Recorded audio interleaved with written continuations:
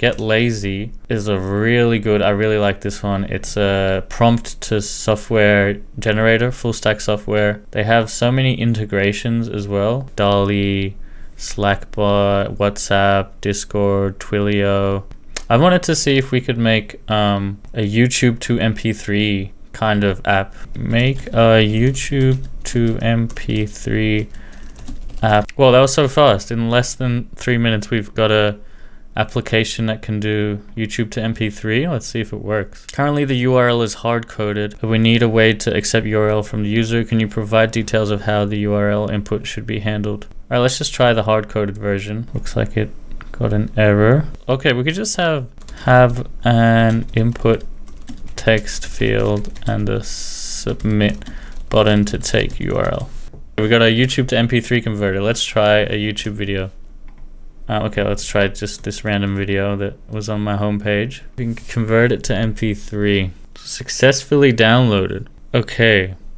I guess it downloaded on their own, on the server where it's running, which I'm not sure, I don't think we have access to. So I think we can say, let the user download it on the machine through the client.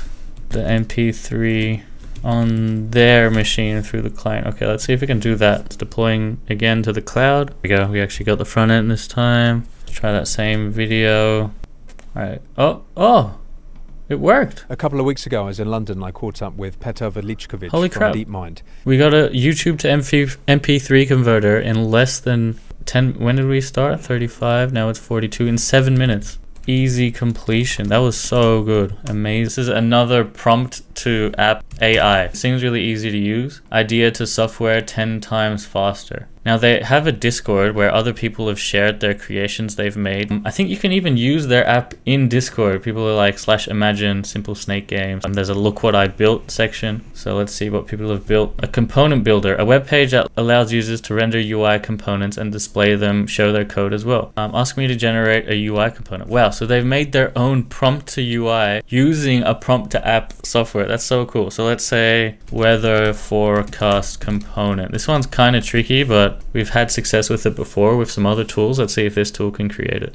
Oh, there we go. We created the weather component. It had a trouble with the icons, but that's still pretty cool. You can see the code. HTML, CSS code. Very cool. Let's make a loading bar. Wait, is this feedback or is it to generate it from scratch? Let's see. Oh, there. That's pretty cool. So I said make a loading bar. And here we have a really nice loading bar showing 70%. Right, let's see what else people have made. Uh, image to video creator. Using Stability AI and the power of lazy AI, you can take your image to the next level. Oh, and they have like a little landing page. And you can start with their template. That's so sick. So you can like build off other people's creations. That's sick. So they create a whole video from an image. That's pretty sick. Flashcard generator. So enter a topic. Brock, thanks for the follow. Let's say coding. Let's see what flashcards it can generate with coding. So this is sick. It seems like it's really easy to make um, web apps that use AI using Get Lazy. Um, wow, look at that. We've generated 15 flashcards and we can select certain flashcards and print them. Maybe. While that's doing that, we can look at the other things that people have made with Get Lazy. Emoji translator. Let's see this. Let's type in emoji. Let's see if it can do finger into finger into the perfect. You reckon it knows this? It's thinking. So someone's built this emoji translator using Get Lazy. So they didn't write any code themselves. They just kept prompting it. The sequence of perfect finger can be interpreted as a playful of cheeky way, say perfect insertion, or this is spot on.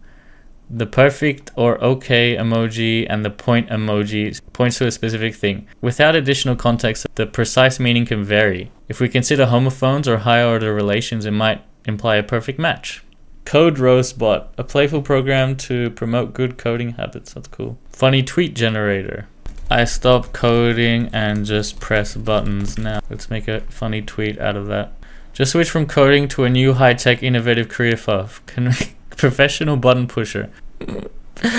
Should I tweet that? I'm gonna tweet it. Professional button pusher and shit talker. This guy made a free unlimited DALL-E free. This one won the prize. They do like um, Builder of the Week, and they went for the. So yeah, you can say anything you want. So uh, tech streamer that has massive headphones, and then yeah, without having to pay anything, you can create a DALL-E image. That's pretty good.